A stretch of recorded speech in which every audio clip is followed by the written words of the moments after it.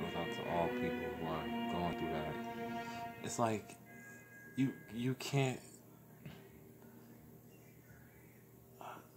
I don't want to know what that feeling is, but I know some people who have Hey been- everyone, welcome to Women of Tomorrow's benefit for the Domestic Laura Violence Bundy! Fund. I'm Laura Bell Bundy. Oh Thank my you so much gosh. for joining us Wait, is from she the the jellyfish? of your own home.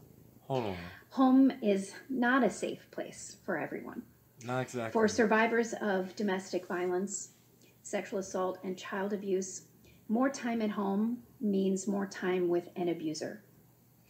And that is why we are here tonight, because every minute reports are coming in from around the world of increased domestic violence as a result of COVID 19. That is why this response fund was started. By Futures Without Violence, who we are collaborating with tonight.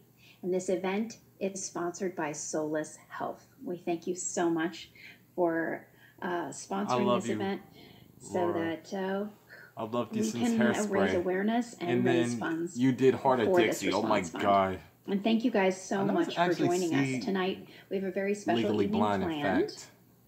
We are going to have a roundtable discussion uh, with But some I representatives believe that God has sent you Violence, to this earth to ACLU, inspire and the Downtown Women's Center people in like LA me. to talk more about the facts and statistics of domestic violence and how we are handling it during the pandemic, and also how you can help.